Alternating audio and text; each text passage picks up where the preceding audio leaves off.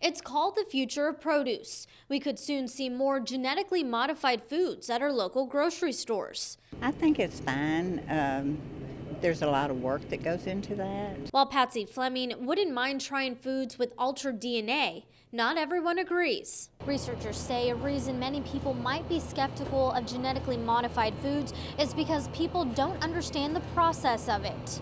A small section of DNA is, is encoded into the DNA of the given organism. Meaning that foods are modified in the lab to enhance desired traits, like taste, even to make them grow more quickly.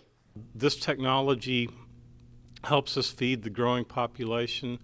It also provides uh, health benefits. In no case are we putting any kind of, of harmful type effect into the fruit or vegetable. Really has the potential to let us grow a lot more nutritious food with less water, less nitrogen, less pesticide usage. That's why researchers, producers, and those in the food industry are at this conference to learn about the issues of altered foods, especially as we see more of them in stores. Probably try it, yes, just to see what it's what the difference is and find out how they did it or what they did with it.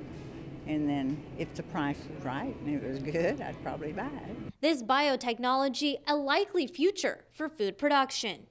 Monica Castro, KAGS HD News.